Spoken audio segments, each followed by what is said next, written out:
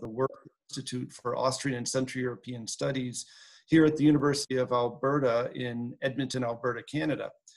And it's my pleasure to welcome you to a question and answer session with our esteemed guest from Poland, Dr. Ewa Wylężek. She is a assistant professor at the University of Silesia, and we will I will talk a little bit more about her and introduce her a bit more in a moment. Before I do that, though, I would like to tell all of you that Ava's presentation was already posted, and you should have seen this already, right? You, the idea is that you watched it, you got her insights, you saw the art that she's going to discuss, or that she did discuss, and today is a discussion of her presentation. It's not any new material that's going to be presented. So in case that wasn't clear, uh, we would like you to participate as best you can through the Q&A function on the bottom of your screen. If you look at the screen here, you'll see a Q&A function and you can participate and write your questions and then I'm going to be the moderator um, for this part of it. I have a few questions of my own. Uh, a few people have been uh, sending me questions to ask Ava because she was they weren't able to attend uh, the discussion this morning. But I really hope that the rest of you will chime in, and this will be a free form, free flowing discussion of issues relating to Silesian identity in the contemporary world, in particular. this presentation today is in some ways instead of or yeah, as part of a visiting professor program that exists between the University of Alberta and the University of Silesia.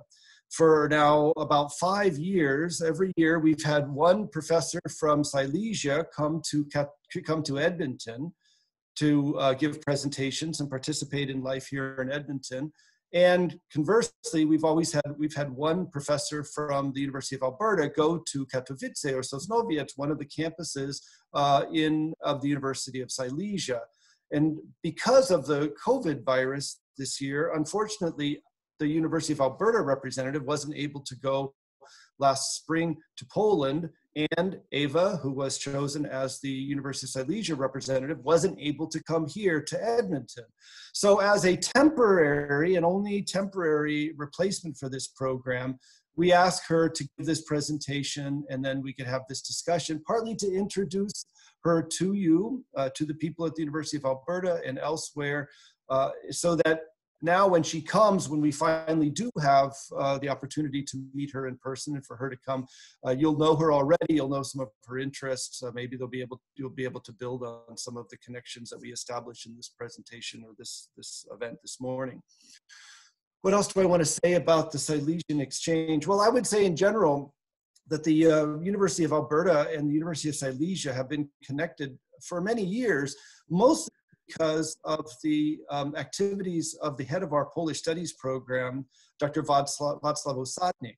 Uh, Professor Osadnik, unfortunately not able to be with us this morning because he's teaching. He has actually pedagogical responsibilities uh, at, the, at, this moment.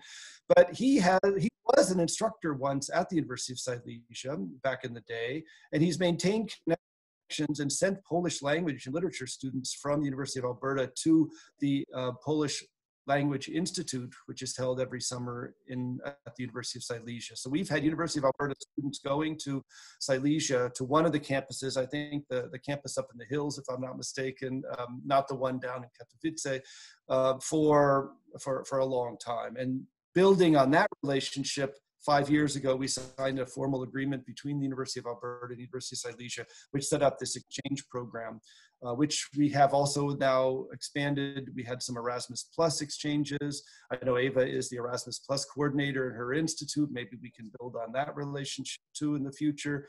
Um, I gave a public lecture at uh, Katowice last spring uh, in the Institute of History. So there have been additional connections, and we hope this is just one more step in building closer ties uh, between the University of Silesia and the University of Alberta.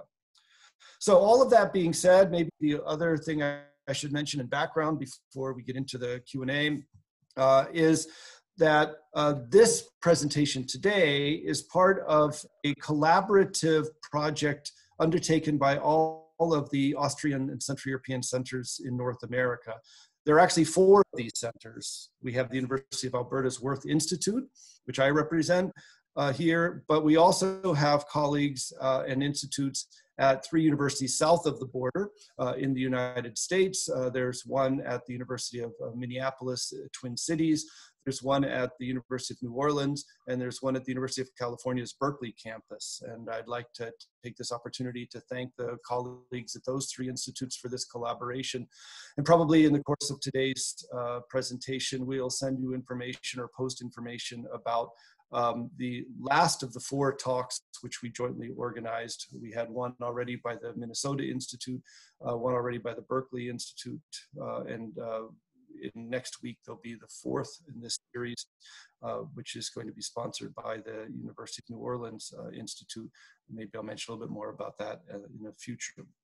Okay, so one final housekeeping point to make before we get into the discussion too, and that is that if you look at the, again, there's two different opportunities to participate in the discussion. The primary one I'd like to ask you to use is the Q&A function at the bottom, but there's also the chat function right? And I see already that the Austrian Joint Centers events has been posted to the chat function. So if you'd like to know more about these events that I just mentioned and the other Austrian centers supported by the Austrian Federal Ministry of Education, Science and Research, that would be the link uh, to go to. Okay, so now let's talk, let me talk not more for no more than 20 or 30 minutes about our esteemed guest here who uh, be, uh, who was so kind to give us uh, her presentation yesterday that we posted. Um, she'll be talking today about Silesian identity, or will be talking today, we'll be discussing today her ideas about Silesian identity. And this makes sense, uh, I think, from Ava's perspective for some, because she is a Silesian from birth and from education. From what I understand, reading through her um, materials, her CV and resume, she uh, has a BA and MA in English literature from the University of Silesia. And in 2018, she finished her doctoral studies at the University of Silesia in literary studies with a dissertation called Tropes of Tauromachy, representations of bullfighting in selected works of Anglophone literature in the 20th and 21st centuries. Uh, this work, I think, was published then in 2019. Uh, she has vault, uh, various interests. She's worked also um, in the world, world of translation studies, which may be of interest to people here at the University of Alberta with our uh, field of translation studies, the English and films, uh, the uh, modern languages and Cultural Studies Department has a translation studies certificate program and sponsors every year a workshop that we work with them on on translation studies, the St. Jerome's Day workshop. So when I read that your most recent publication is a book chapter titled Loss of Translational Innocence, uh, in the collection Infidelity, in Fidelity in Translation, I thought, aha, there are people here at the Alberta who might like to work with you or talk with you about your ideas of infidelity and translational incident, innocence. Uh, Eva has studied in Spain. She's been a guest lecturer at the University of Eastern Finland. And um, uh, we're again happy to be able to have this opportunity to chat with you. Welcome, Ava. And uh, now I guess I'll turn it over to the, the world out there. All of you watching, uh, if you have questions, uh, comments about uh, the video that you saw yesterday or whenever you saw it, you could see it today, you could see it tomorrow, but hopefully you've already seen it. Uh, please post them to the question and answer um, function or yeah, well, please post them to the question and answer function. Thank you very much, Professor. Thank you so much. Thank you for having me and um, good afternoon or good evening uh, from, from Poland. Hello. Yeah, you look a little, yours definitely looks a little evening-like there. You're much- Evening-like, that would be the, yeah. it's gloomy. Well, maybe I'll get things started uh, by asking you just a, a, relatively specific question about a, a phase of your presentation. Um, and that is, you showed the one house, right? The, the house in which all these people were born. And you told us about the name of the street, the, name, how the street name. This is a classic thing about East Central Europe, right? How the names change in different places. I wasn't sure if the average watcher, viewer of that video would be able to totally understand the point you were making by talking about all the different names of the streets. So could you just spend a few more minutes describing what those different names meant. And and um, yeah I, I remember I, have been working with a doctoral student here in the history and classics department who's from subcarpathian ruthenia or from the part of ukraine that used to be part of czechoslovakia which used to be part of hungary. And there's a joke about that area where you know a woman is asked uh, where did you live? And he, she said i lived in all these different countries. Uh, and she never moved, right? Because she lived in all these different, she lived in six different countries in the 20th century, but never had to move from her house. I think your point is a similar one, right? That, that the people born and living in the house that you showed us in Silesia uh, didn't have to move to experience different contexts. So could you? Exactly. Of course, uh, thank you. Very, very much so, very much so indeed. Uh, so all my uncles and, and my aunt, um, they, they, they were born in different different time depending on the political system uh, and the political regime even um, the, the names of the street um, have have varied. Um, and of course someone who was a hero for for instance uh, soviet um, soviet russia or the um, was not a hero a decade later uh, so the, the names have been um, changed depending on the uh, authority of the city and authority of the of, of Poland um, and and the uh, sort of Soviet Union as well. There were also, of course, the, the Bismarckstraße. Clearly, this is a nod towards um, the, the German um, powers uh, that at some point were governing, uh, especially Silesian Silesian region. Uh, it was very um, interesting, I imagine, and from what I've heard from my family, to live and in those times and those political systems that sort of overlapped because you had to hide all the things that you have bought, all the books that you've had, uh, that you bought in the 40s because they were frowned upon 10 years later.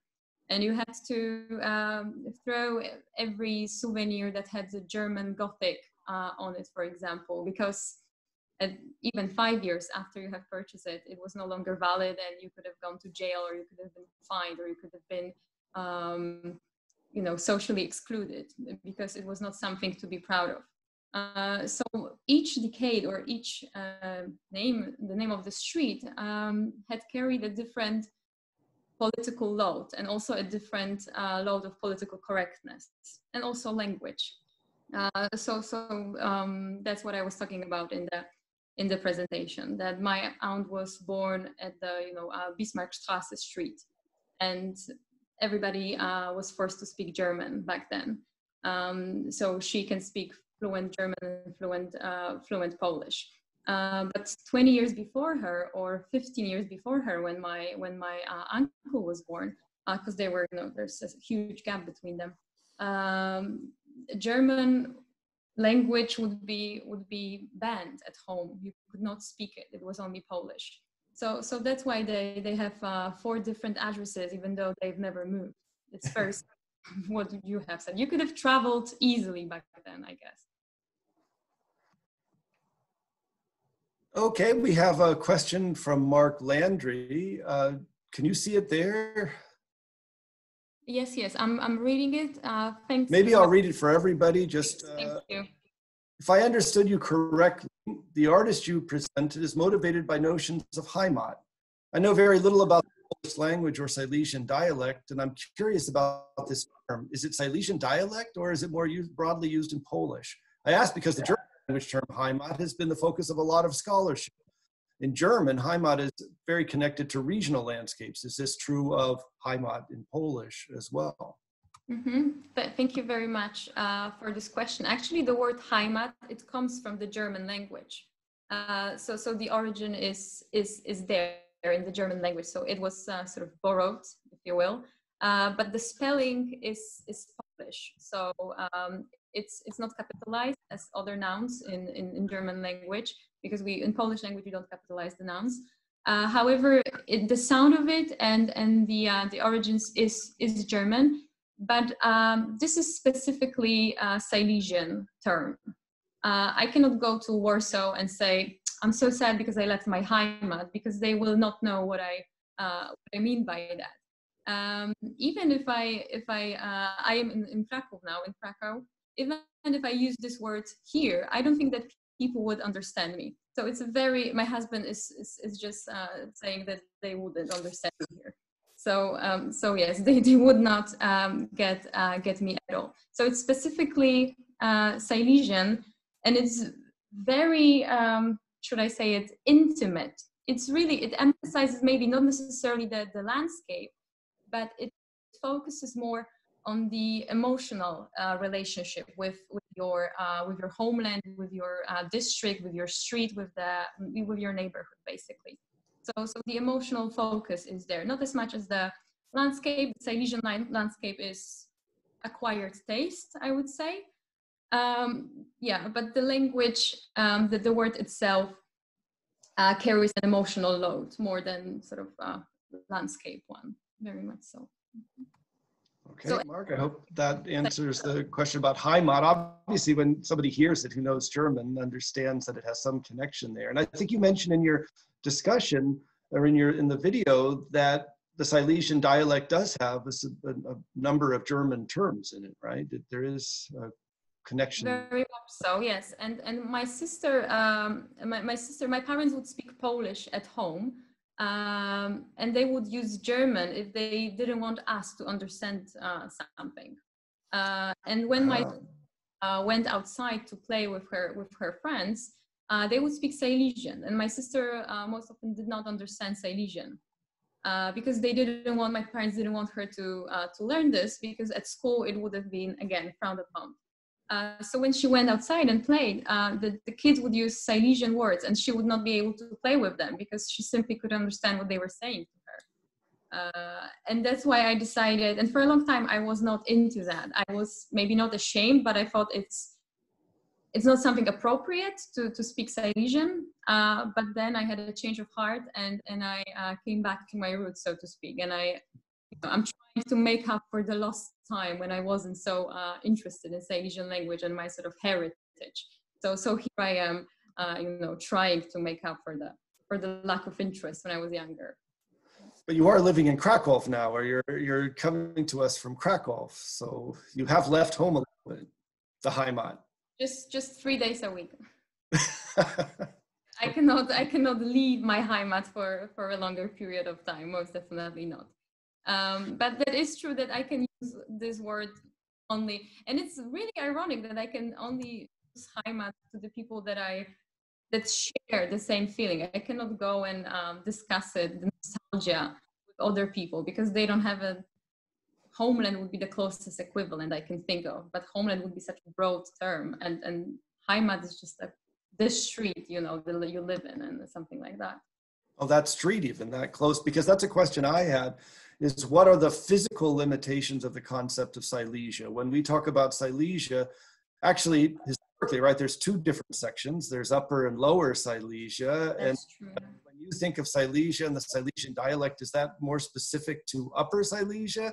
What's the role of, of Francois? What's the role of lower Silesia um, in the concept of Silesian identity? Uh, I am not an expert on the subject, unfortunately, uh, on the on Lower Silesia, but uh, I know that they've been uh, also under very strong influence of, of, of German and German language, uh, Germany and German language, and um, I would say that they are even more organized as the stereotype is at least that the, the Lower Silesia um, have this German uh, sort of gene about them uh, that they like things to be organized and, and so that's the stereotype. If I were to, to name a stereotype, that would be uh, that would be this one that they have the, the echo of the German Ordnung uh, reverberates there. Uh, but I am not sure that they actually do have a dialect. I'm not sure that they have this um, their own language. I think they speak uh, more uh, proper Polish than any other sort of, of, of a dialect. Um, so when I think of Silesia um, and, and its equivalents or something to compare it with, I often think of, of Catalonia. Uh, they also have this internal need or, or, or um, to, to announce, maybe not announce, but to stress that they have something something else also apart from being spanish if, if i may say so because i think they're partly Spanish as well, and I am of course Polish. um, there is this need to show that there is something special or unique about them. And of course, they have their own language, uh, which is, you can, I guess, they can understand Spanish, but I don't think that every Spanish person can understand uh, a person from Catalonia perfectly.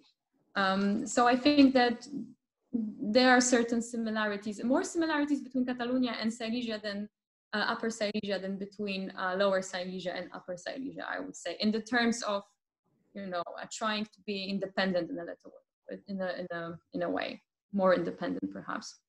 It's interesting parallel with, yeah, and you've, you've in Spain and written about Spanish issues as well. Interesting parallel to think of uh, Catalonian um, uh, separatism or identity construction vis-a-vis Upper Silesian. Uh, our Hungarian uh, researcher on staff, Jerzy Rajnai, was not able to join us this morning, but he sent in a question after watching uh, your presentation, that, which I think might uh, be related. His question is, uh, is this Silesian identity that is reflected in the artwork that you showed relatively new uh, or does it build on pre-existing traditions? Um, he was thinking in terms of how this is a contemporary artist, somebody who's working now. Does that uh, mean that this is a new development? The Silesian identity is just recent, or does it have deeper roots? Um, there is a lot of uh, artistic uh, tradition in Silesia, in painting especially. Uh, but the, the, other artists and works uh, that treat on, on Silesia and Silesian landscape is, um, are the representatives of art naive. Super bright, uh, extremely saturated colors. Um, the shapes are even childlike, if, if you will. Uh, so there is a different school of perceiving Silesia. I don't know if this was uh, some sort of um, making up for the lack of color in the real world. Uh, perhaps art naive would be uh, a nice uh, sort of, you know, a counterpoint. Um, but art naive would be the thus far present uh, tradition in painting in Silesia. And Walczak is, in my opinion at least, he's trying to elevate this. So it's um, so it's not only this the city Silesia with either coal or, or art naive uh, paintings hanging on walls. Um, because that's also the stereotype. The stereotype of a Silesian person outside Silesia is um, I, would say, a, simpleton or someone who uh, is indecisive and cannot really manage well. But then again, there is this strong uh, work ethic that's so present that the people going to, to work underground in the mines. Um, and and there is what is interesting about this. Sorry, sort of um, off topic, uh, but still in Silesia, there is this very strong notion of a woman uh, dominating in the household so so it's not the man who's the head of the household it's the woman. So every um, every two weeks the wage would go directly uh, to the to the wife not to the husband. Uh, so that was something that's unique um, i think about um, the stereotypical family or polish family at least. Uh, so so i think that uh, especially the painting and nowadays more and more uh, plays theatrical plays uh, show and demonstrate the history of Silesia, the, the brutality of the police when there were protests in Silesia um, a few decades ago. So, so I guess Silesia is getting more and more good press and it's getting trendy. There are a few companies that produce um, outfits with Silesian words on them. It, it's getting hip, I would say finally. Well, it just Katowice they just hosted the big uh, worldwide Congress on climate change. What was it last year or so? I mean, the, Indeed. Indeed. the name and the city are worldwide are known across the world now. I would say. Have you noted? So you've noted difference? I mean, I've been going there for about well, five years since we've set up this relationship with the university, and I know a lot of urban redevelopment. This whole attempt to reinvigorate the tourist industry, build on the Art Deco and uh, uh, architectural history, to work on the kind of post-industrial history uh, or post-industrial world, and to try to integrate the industrial landscape into the present is is ongoing. It looks like. I, I, I would have to uh, agree. Uh, yes, it is. It is getting. Uh, it is getting out there. It's being promoted. Its architecture has been changing Uh, we have this beautiful uh, auditorium hall, the second best in the world. that's what they say at least. Uh, it's it's really um, it's really good, and it's a pride moment, uh, a proud moment to to see those changes. Uh, you know, I, I I know the landscape. I know it's you know aesthetically challenging uh, or uh, you know it's not beautiful in this sort of uh, it's not venice or anything like that. Um, but it's getting it's it's good press uh, and it's changing. And um, it's also getting promoted by arts and in arts. That's the best way i guess. Uh, you cannot force someone to you know you have to like say Silesia now. Let me show you what it is. Let me show you the work that's that's being done done done there right? Let me show you how good it can be.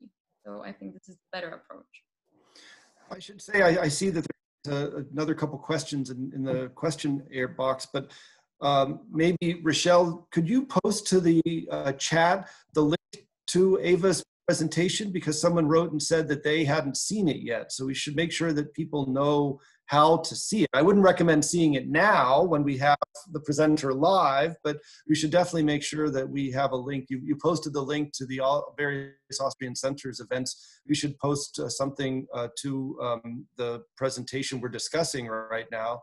And maybe while we're at it, we can post something about just the ongoing online events that the Wirth Institute is sponsoring. I can talk a little bit more about that in a, in a second. Uh, because I know um, I saw another question in the question answer, but because you raised the issue of uh, Silesian art and the artistic traditions, it leads me to Professor Osadnik's question. Uh, I think there's a good uh, link here. Again, he apologizes for not being able to be with us this morning, but uh, let me read you his email, uh, and I, I hope, um, uh, yeah, well, I'll, let me read you his email and, and see what you have to say in, in response. Sure. First of all, he also says that the lecture was very interesting. So, you know, he gives you a thumbs up on the interest. I'll have to thank him later. Thank you. Many artists from Silesia are famous for their unique approaches to themes and techniques of contemporary art. We talked about that. Let me mention the ST53 group, which member with members such as Konrad Swinarski, Klaudius Diedruschik, Vlad, Waldemar Świerzy, or Maria Obrema, Obremba, the 1st mm-hmm. Sławomir Mrożek. So you don't get confused about which wife of Sławomir Mrożek uh, we're talking about. To name just a few, the group is interested in post-cubism, minimalism, and Strzemiński's approach to art. Do you see any influence of ST53 on Walczak's art? This is a pretty mm-hmm. question. Did you get it? Yes, yes, absolutely. Uh, thank you. Uh, I was thinking of that, and it's a very interesting question. Professor Osadnik thought of that because actually I chose the works uh, that are not, um, you know, Strzemiński's work is is very uh, minimal, uh, and and he synthesizes the forms in his painting, um, and and and the rest is more sort of exactly more uh, cubist. they're not very um, uh, mimetic in, in their works. Um, and actually, the, this is the pictures that I've, chose, I've chosen. They come from the latest cycle of, uh, of Walczak's works. Uh, but the, the former ones, they are actually very similar um, to, to what Professor Osadnik has, uh, has mentioned. So uh, very much so, there must be some sort of a um, inspiration or perhaps certain uh, zeitgeist that reverberates through the canvases uh, because his uh, previous works um, are very are less figurative. Uh, it's more form. It's more, um, as I have said, uh, at first he was called an expressionist or a new expressionist. Uh, but he also has, um, and then he sort of calmed down and developed this more figurative painting, this more figurative style of painting. But his previous cycles do allude or do refer to um, to those old or different, uh, older or different schools of painting. Uh, so, so I could say yes, um, yes to his question. Uh, yes, there are certain similarities, there are certain uh, parallels between maybe not these works that I've showed you, uh, but his previous works more certainly. So, so there is this. I don't know if, if Professor Osadnik has really um, spot on intuition when it comes to painting. He just took a one uh, look at them and, and he thought, oh, this must be it. But it could have been, it could have been so. Yes, absolutely. Well, this is an interesting issue that maybe we could develop more when you come here to uh, Canada, uh, because your appointment was going to be in the Department of Art and Design. Uh, and I'm sure there'll be uh, students and colleagues in the Department of Art and Design who would be interested in discussing this further, right? And in fact, one of our participants from the University of Alberta who went to Silesia was an art design professor. Uh, professor Gajewski was there um, a couple of years ago. I don't know if you had an opportunity to meet him. No, no, no, no. He, I didn't. um, he would be a logical contact uh, in the art and design department when you get here. So uh, just something to think about when you arrive. And you know, I've been told that uh, Katowice's art museum is now considered one of the better ones, best ones in Poland. Um, and if for those of you who haven't been there, and I'm guessing most of you haven't been there, it's in an old mine. So you see the the kind of utilization of uh, industrial spaces and the the role of the mine, which you saw actually in the picture um, that Ewa one of the a picture the paintings that Ewa posted is obviously deeply rooted, if you pardon the expression, in uh, the Silesian identity, right? That they put their art in the mine, and you have to kind of go down and actually participate. Yeah. yeah. You have to go underground to to appreciate it, to, to see the art. So so that's very that's very tricky, uh, and also very interesting. And there is a uh, one of the galleries is uh, made to make it look like it's a it's a mine. So you can see the the chains, uh, the, the clothing, the, the uh, changing room of the miners.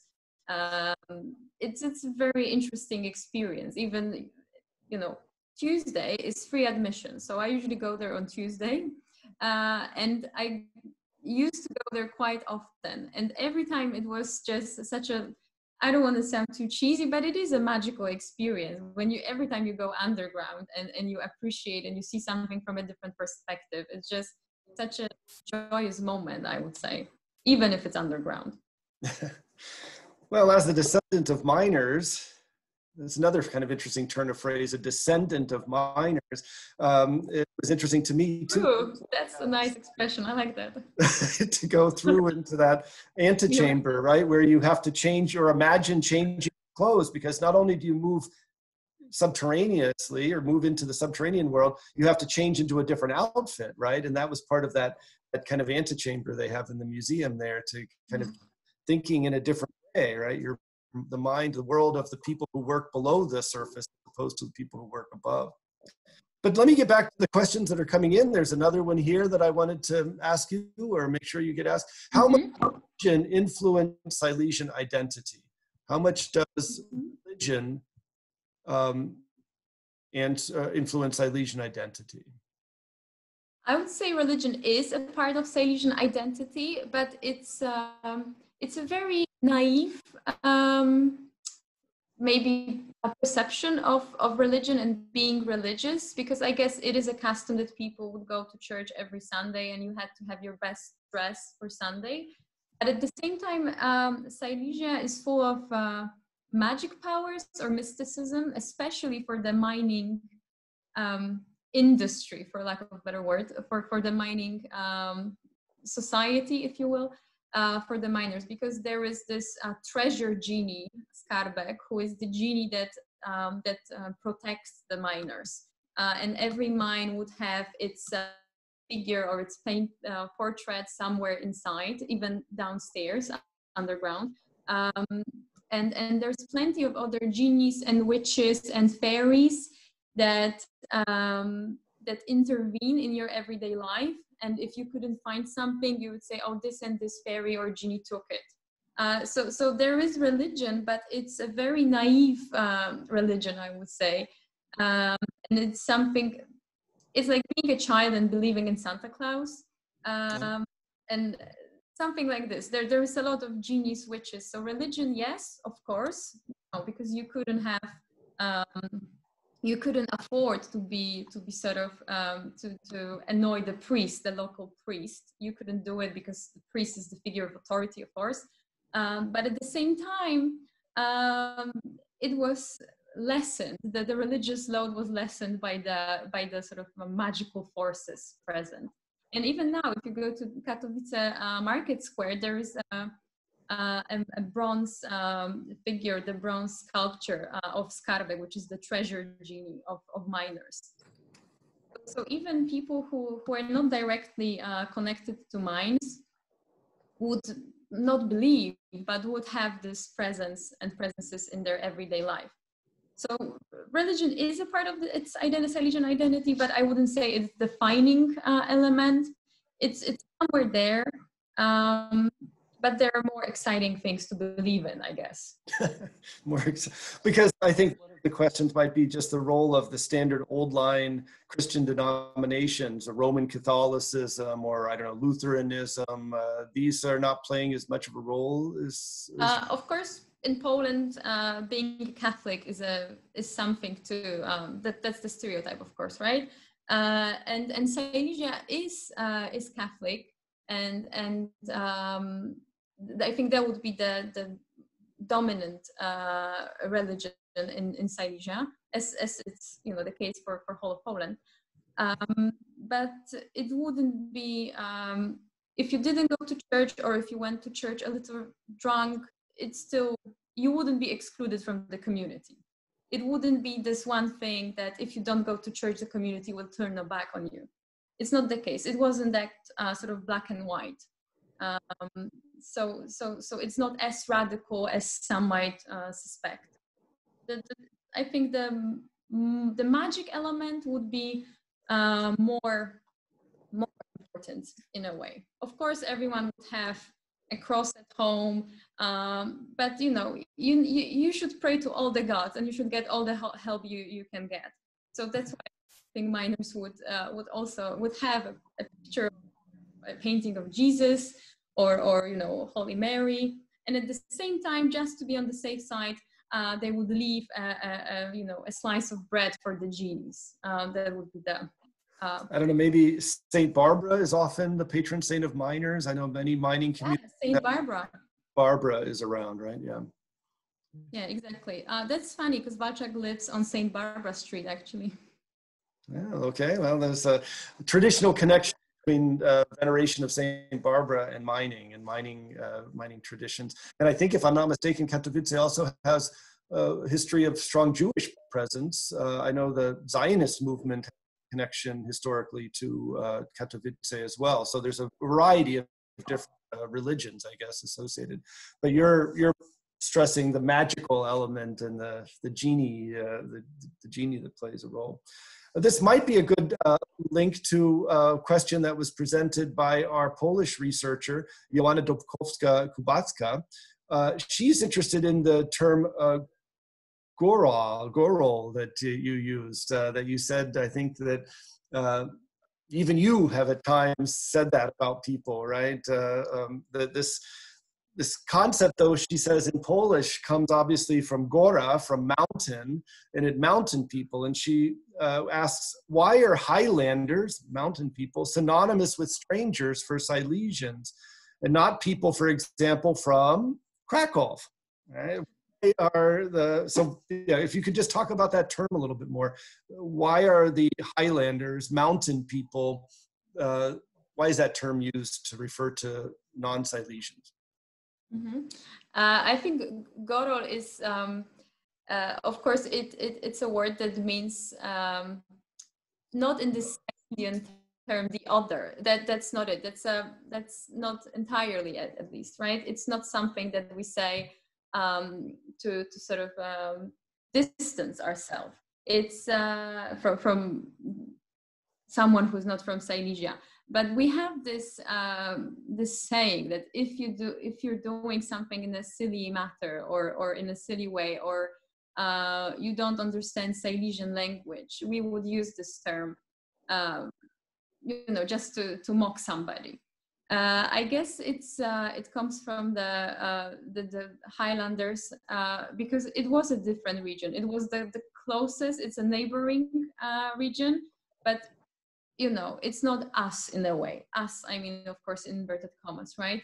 I guess anyone who doesn't or who wouldn't understand Silesian language uh, would refer to as Gorol. and funnily enough, it's not aimed at people from uh, from mountains or highlanders, um, but from neighboring uh, Sosnowiec. That would be the people of Gorols. Uh, that would be the that would be the place. And unfortunately, I, I feel terrible if someone is from Sosnowiec or you have friends there. Please just don't let them know. Uh, but there is a saying. Is it the Institute for English Studies there? Don't you work there? Uh, I do work there, and it is. we have the saying in Katowice that uh, the, the, the apartments uh, above the 10th floor are cheaper because the view is, you can see Sosnowiec balcony.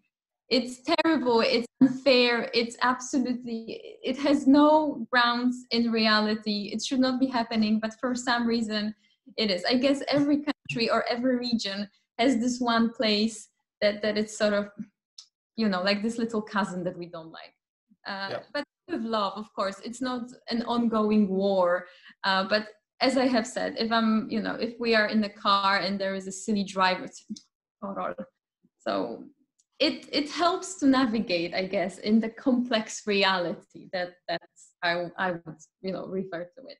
Well, I, I, come from Southern Ohio in the United States, and I can tell you some jokes about Northern Kentuckians, people from Kentucky. There you go.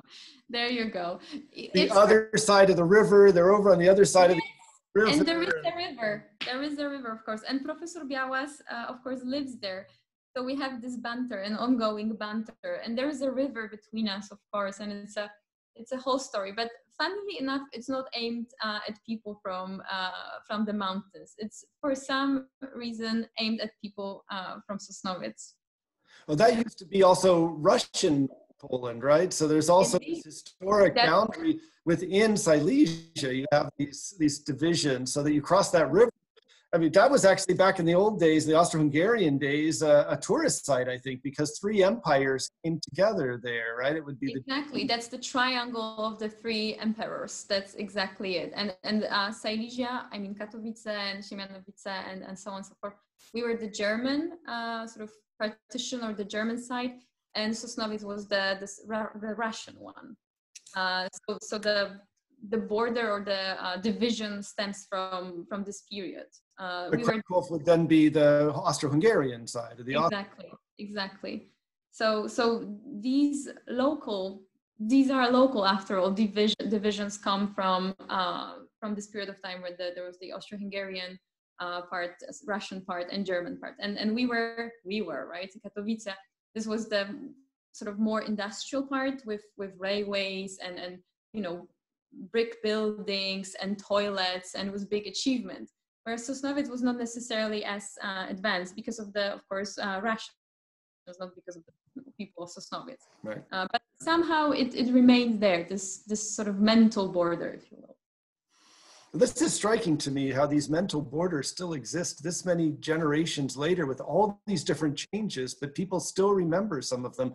We had a conference few years ago at the Wirth Institute called Crossing Central Europe, and it was partly about the memories that still exist of, say, for example, the Austro Hungarian Empire's connections across space.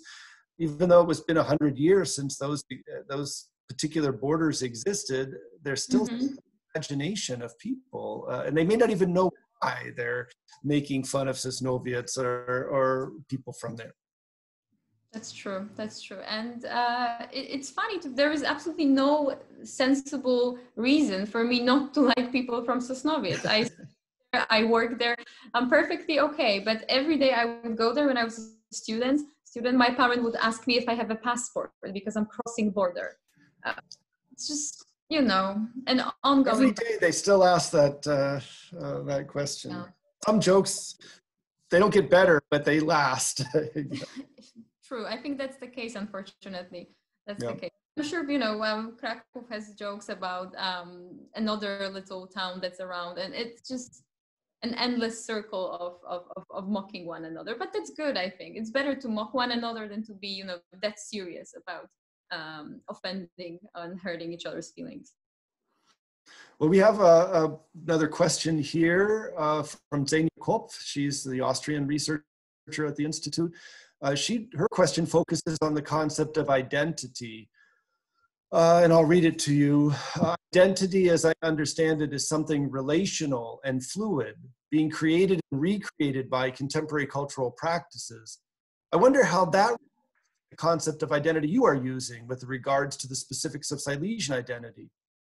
Specifically, I'm interested in how contemporary Silesian identity could be described beyond language e.g., what would be elements of Silesian identity in Walczak's paintings that go beyond language? What do you think? What goes beyond language? Um, beyond language, in, in those paintings that I, I've uh, shown you, first of all, on the technical level, I think would be the, the gray color, unfortunately. Uh, there are some, uh, the, the four gray figures, um, the grayness of the, of the uh, cross section of the mine uh, the saturation of gray in this painting where there is this um, the, the house. My house is my castle. Uh, so i think that the gray because um, when you ask someone from outside from another region of poland what would be the go-to color when painting silesia i guess would be black and gray. And and rightly so of course. I'm not you know offended by that and no one should be. This this just what it is. It's not you know we're not famous for gardens um, what about the red and, paint on the workers' houses uh, on the windowsills or something? A little bit. exactly. That's yeah, yeah. That uh, every miner would get once a year um, a can of paint, and they would have to paint the whole neighborhood of miners would have to paint uh, their windowsills one color. So it's sort of more um, united and unified. Uh, and of course, the, the very subject matter, which is the mines and, and the, the mining accident that uh, happened a few years back, um, these are very current topics uh, for Silesia, uh, for Silesian people. Um, so I guess the identity would be based or, or uh, created on the, the mining history, uh, the mining industry that's sort of dying off nowadays, um, which is of course a bittersweet feeling, right? Because you feel like you're maybe not losing, but you're part of your identity but but you know it's good for for for the for the betterment of others uh, and, and the planet. This is something we can sympathize with or empathize with here in Alberta. I think with uh, as well. changing environment of energy resources and things. Yeah. Indeed, and if this was something that you've built your entire identity upon, you you feel you know heartbroken. I would I would imagine that this is something they're ripping you apart in a way, saying you are no longer needed but it's just another you know it's another um, conversation. But but to answer um, this question i guess the, the technical level would be that the colors the palette and the hues and on the thematic level that would be the the mining industry uh, the miners and of course the house because the house that he painted my in my house is my castle. That's a typical uh, Silesian, uh, it's called familok, so it's an old tenement when uh, mining families would, would live for generations, of course, as, as is the case of Walczak, as the case of my, my family. Uh, so, so I guess that would be the answer to this question, the, the miners and the house and the colors, which all come together.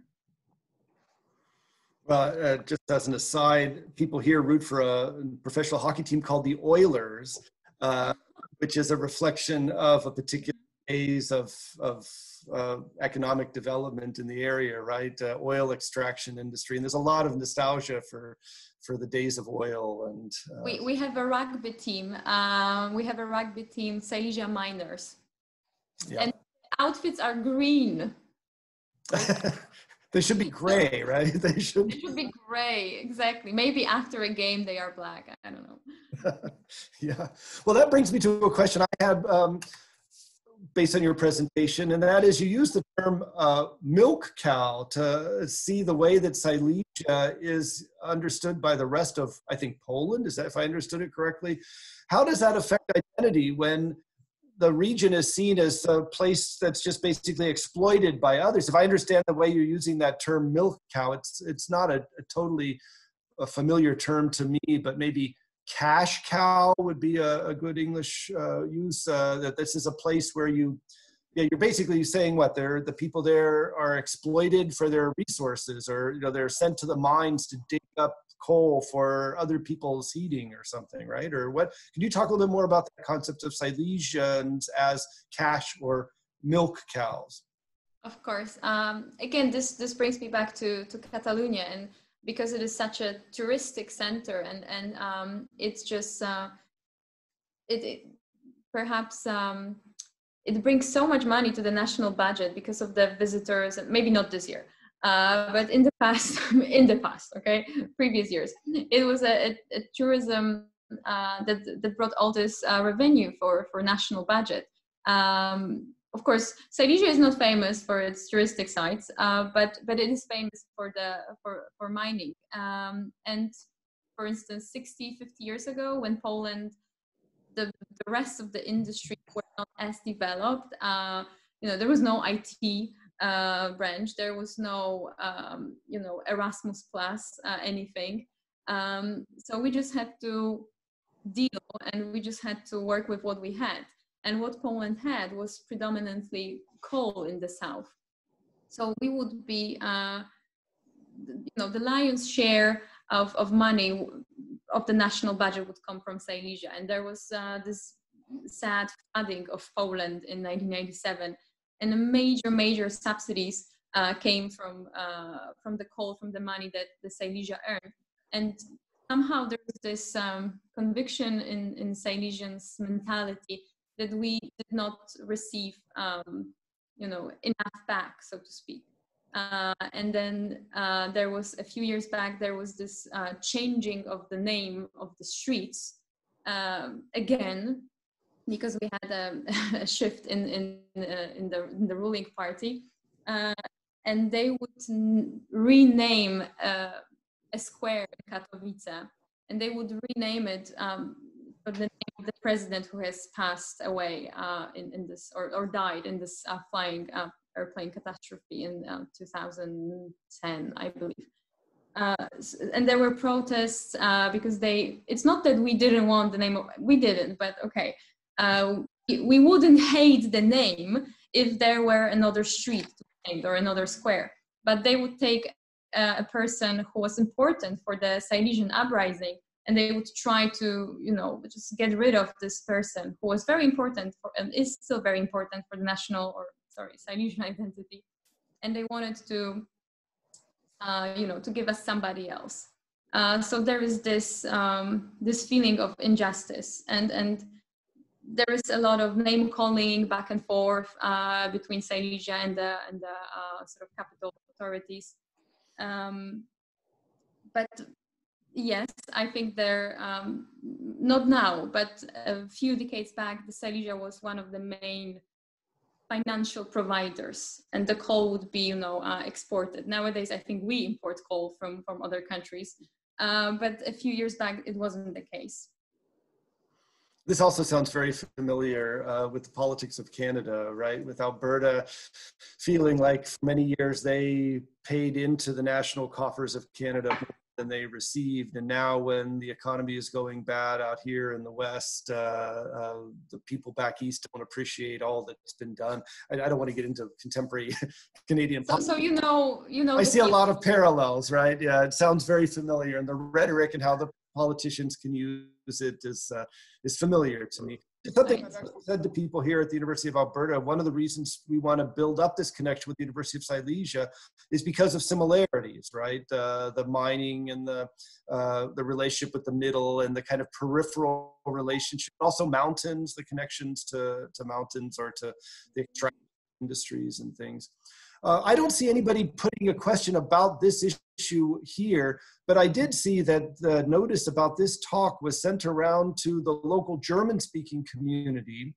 Um, and this is because a number of the people in Alberta and in the western part of Canada came from Silesia uh, earlier. These are immigrants from Silesia, so German speaking immigrants from Silesia. And I, I, I don't know too much about the history, but there's a hamlet here in Alberta called Nordegg, and it was founded by a Silesian uh, entrepreneur, a coal mining town, founded in 1914 by a Silesian uh, entrepreneur named Martin Cohn, who changed his name to Nordegg, um, who came from Lower Silesia, from at that point Reichenbach, and um, uh, there is this kind of historical connection on some level because of the mining industry that people came here. Uh, we one of the reasons the Wirth Institute exists in Alberta is because there are so many people from Central Europe who came here over the decades, especially late 19th into the early 20th century, but continue to come here. Uh, we have a very large Polish community, but large numbers of people from uh, Silesia as well. And I, am sorry if there's anybody here at this discussion who is from Silesia or has grandparents from Silesia or, or whatever. Uh, I would be very interested to hear your take on how Silesian identity is different from the perspective of a migrant or an immigrant from Silesia versus somebody who lives in Silesia, which is another issue we deal with at the Wirth Institute a lot. The contrast between identity in the diaspora versus identity at home, right? What does it mean to be? There's another level. Um, I can I imagine that there is another level of, of difficulty, perhaps, or more borders to cross to, to get to whatever it is that we're trying to get to, I guess. Well, I, I, was struck that this series that the Austrian Centers put together was called Austrian Identities. And uh, we already talked briefly about the concept of identity, but the, using the word Austrian in connection is also kind of complicated. Uh, I don't know how you felt about that. How do you feel about being in a series that's identified as Austrian identities? Uh, did, that, did that strike you at all? I, thought it was, to be perfectly honest, I thought it was pretty funny. Um, of all the names of all the places, uh, it's an it's an Austria, Austrian uh, identities, but at least it's plural, so it it is open, you know, for for more than one identity. So so I was um I was okay with it, yeah. And, know, I think what we this term here is used pretty broadly, and the Wirth Institute is Austrian and Central European studies, and uh, we work with uh, lots of different cultures and identities. And Austrian to be given kind of precedence, but that's more because of the formal funding mechanisms and who gives more money and, and, and the donation issue. It's not really about the content of the discussion, right? So I'm glad to hear that you didn't feel too offended by the, the title. You, you are in old Austro-Hungary now, right? Uh, even if it was only what, how long was that part of Austria-Hungary? Only 60 years, or you know, wasn't very long that it was there, but still, uh, there is some connection.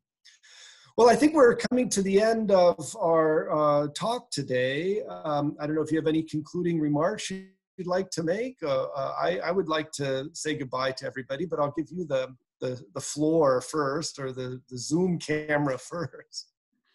Thank you for the Zoom camera, Professor. Um, I, I, think if you, if any of you uh, uh, have any questions, just just please uh, feel free to, to contact me via uh, Professor or, or via your institute. Um, I was just, it was a very enjoyable uh, evening and conversation. So I want to thank everybody and thanks for having me. Thanks for inviting me. Uh, I'll, I'll echo that. Thank you very much for participating I appreciate your the both the presentation and the discussion. And remember, everybody, including you, Ewa, this is the beginning, right? This is supposed okay. to. this is, you know, you're going to be coming to Alberta. We'll have people there. We have Professor Hosmat from uh, Political Science Department is supposed to be going to in your direction. In, yes, yes, yes, yes. Hopefully, I hopefully. Yeah, my supervisors hopefully and if anybody out there uh, or who sees this later, because it'll be available for viewing later, would like more information about the University of Silesia, about the relationship, the exchange program that we have between the University of Alberta and University of Silesia, please feel free to contact uh, the Wirth Institute. Um, I, I, would be remiss if I didn't end by reminding you that the next of these Austrian identity on Monday, November 2nd at 10 a.m. Mountain Daylight Time. That'll that'll feature Gerald Steinacher of the University of Nebraska in the United States. Uh, this presentation is sponsored by the University of New Orleans Austrian Center, and it'll be focusing on another uh, set of identities, South Tyrolean identities. So we'll move from Silesia to South Tyrol. Uh, we hope to see you then. Um, goodbye and see you at the next uh, Wirth Institute event. Bye. Thank you very much. Bye bye.